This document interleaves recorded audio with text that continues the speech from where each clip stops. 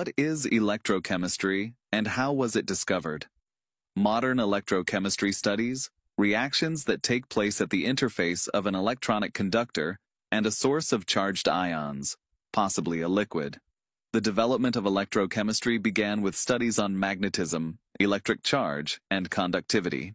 The earliest experiments typically focused on questions surrounding properties of materials. For example, which materials can be magnetized and which materials can be charged.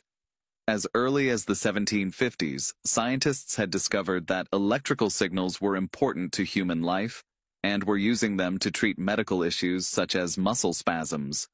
In the late 1700s, Charles Coulomb developed laws describing the interactions of charged bodies which are still used widely today and taught in any introductory course on electricity and magnetism. The first electrochemical cells were developed during the 1800s.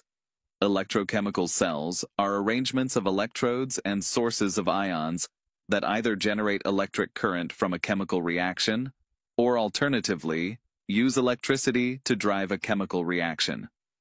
Today, these cells find applications in daily life, such as in the batteries that power your car or cell phone. Today, electrochemistry still constitutes an important field of research and is one that will likely continue to lead to the development of new products and technologies.